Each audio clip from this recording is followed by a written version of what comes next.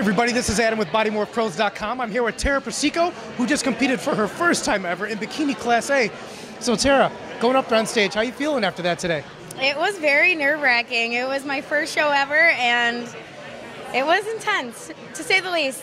Well, I saw, I mean, that class that you were in there, there was like, what, 10,000 girls, somewhere around there? 30 in my Class A, yeah. So you're back there and you see that big lineup, you see all those girls. Do you start to get a little nervous? What are you thinking as you're going?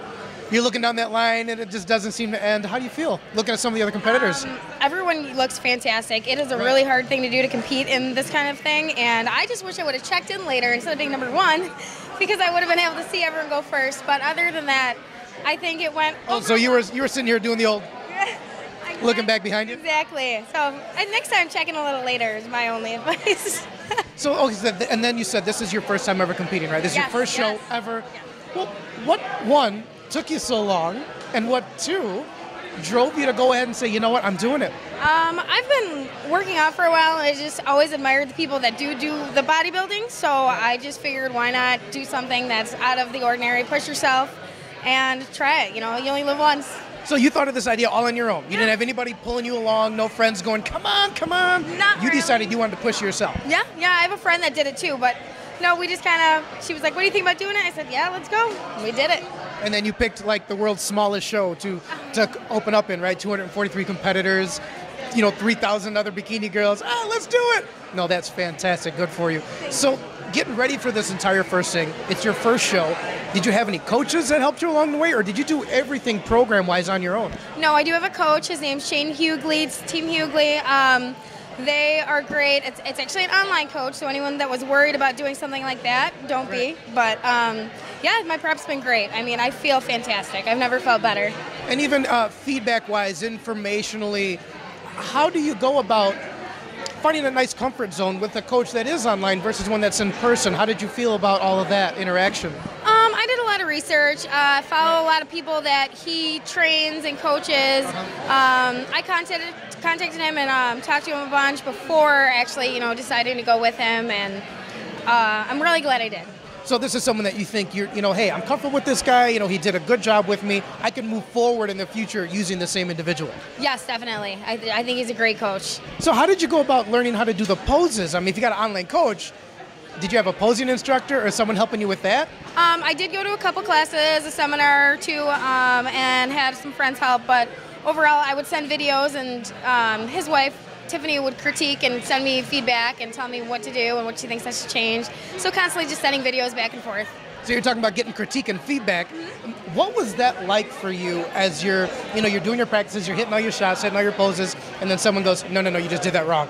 Like, does it? Do you feel like, oh crap, or is it like, do does it motivate you to want to do even harder? Oh, motivation for sure. Yes, yeah. I want to do the best I can. Um, as far as today, how it went, I was very, very nervous. Hopefully, I do good. If not, it's my first and of many to come. So that, that was going to be something I was going to ask you. Is now that you have done this, you climbed up there on stage. Have you got the bug now? Is this something that's bitching? You're going, oh, I like this. I want to do this some more. Always. Moving forward. Yeah. Yes, yes. Do you have any shows in mind, or is this something you're going to just take a little bit to think about, or uh, yeah, what is it? What is it? I'm doing one next week, next Saturday. The, Where's that show going to be? Um, the Rockford, Kevin Noble. Oh, We'll be there. We'll be there. Come back. We can talk to you a little bit more. Catch you up now then for your second show. So you're going to be doing this again. Coming into this show as you're, you know, you're a rookie at this, and like you said, you're working with the online coach. How was it when you were starting to get into more the diet nutrition aspect? Was that an easy thing for you, or was that something, you know, do you already live that type of lifestyle, or did you have to change your entire way of living? Um, I somewhat live a healthy lifestyle. I mean, I did indulge more on the weekends and I say I don't at all. So, um, it was. It's just more the scheduling, if anything, having to eat every couple hours and eat the right food combinations at the right time, and how it affects your, you know, the drinking gallons of water a day, and it's just very time consuming. So, if you're gonna do something like this, make sure you can put 100% into it because otherwise, you're not gonna succeed. Then what was the biggest struggle for you then that you found? You know, like you were talking about there, hey, I gotta add this, I gotta add that, gallons of water. What was the hardest part that you had to wrap your brain around going, ah, there's that one thing that I hate, but I have to do it? Cardio. no, and cheat meals only once a week. It's hard to watch all your friends and everybody go out and have fun, and eat dinner and go holidays. I had to met, you know, Easter and different things. And You're like, here's my dry piece of chicken. Mayo, Thank you. Yeah, exactly. And here's my chicken. So, So, hey, well, now that the show's going to be over tonight, well, I mean, you know, we have to go through the night show first, but after that night show, you know, the show's done. You can relax a little.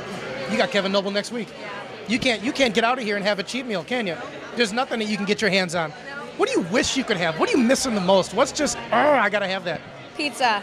Yeah, maybe next week. Yeah, maybe tacos. anything, anything not chicken. Well, you can dream about it for the next couple weeks. Maybe you can just, you know, like you said, envision it in your head and get your hands on it eventually. No. Well, hey, I tell you what, congratulations to you. You got a great package. Your suit looks fantastic. Who designed your suit for you? Uh, suits you. Suits you? Yeah, suits you. Suits you swimwear. Well, hey, shout out to them. Absolutely. I mean, you got to know you got a great package. You got a great suit. Best of luck to you. Moving forward, even at the Kevin Noble, we'll see you there. But until then, hey, this is Adam from BodyMorphPros.com with a first timer here. We'll see you back in the shows.